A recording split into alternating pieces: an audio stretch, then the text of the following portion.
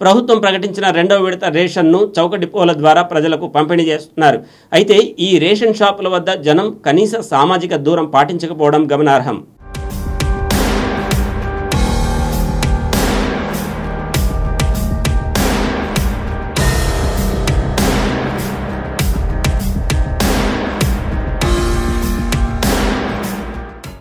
Ration కార్డుదారులకు ప్రధానమంత్రి Garib Kalyan package కింద కొనసాగుతున్న రేషన్ శనగల పంపిణీ కార్యక్రమం వేగం పుంజుకోవడం లేదు. లాక్డౌన్ నేపథ్యంలో కార్డుదారులకు ముందస్తుగా కూపన్లు పంపిణీ చేసి అందజేస్తున్నప్పటికీ చౌక దుకాణాల వద్ద జనం సామాజిక దూరం పాటించకుండా గుంపులుగా చేరుతున్నారు. కొందరు వాలంటీర్లు దుకాణం వద్దే కూపన్లు ఇవ్వడమే ఇందుకు ప్రధాన కారణం. ఉదయం ఆరు గంటల నుంచి పది గంటల వరకు సరుకులు అందించి ఆ తర్వాత మూసివేయడంతో ఎక్కువ మంది లబ్ధిదారులకు ఇవ్వలేకపోతున్నారు. ఫలితంగా రాష్ట్రంలోనే కర్నూలు జిల్లా తొలి రోజున ఏడు రెండవ రోజున ఆరో స్థానాల్లో నిలిచింది.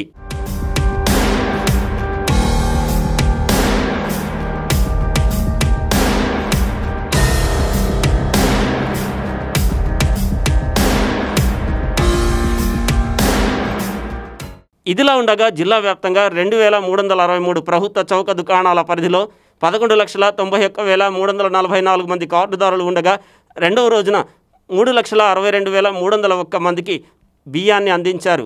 కర్నూలులో నూట అరవై రెండు చౌక దుకాణాల్లో ఒకటి పాయింట్ సున్నా ఐదు లక్షల తెల్ల రేషన్ కార్డుదారులు ఉన్నారు. తొలి రోజున ఆరు వేలు రెండవ రోజున పదివేలు రేషన్ను పంపిణీ చేశారు. నగరంలో కరోనా పాజిటివ్ కేసులు రావడం పాత నగరం ప్రాంతాన్ని రెడ్ జోన్గా ప్రకటించడంతో పంపిణీ నత్తనడకన సాగుతోంది. ఈ ప్రాంతాల్లో వాలంటీర్లు కార్డుదారుల ఇళ్ళకే రేషన్ పంపిణీ చేస్తున్నారు. మిగిలిన కల్లూరు ప్రాంతంలో చౌక దుకాణాల ద్వారా పంపిణీ చేస్తున్నారు.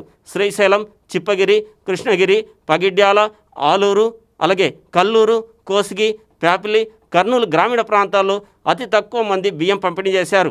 నంద్యాలలో రెడ్ జోన్ ప్రాంతాలు ఉండడం పాజిటివ్ కేసులు ఉండడంతో వాలంటీర్లు ఇంటింటా పంపిణీ చేసేందుకు ససేమిరా అంటున్నట్లు తెలుస్తోంది.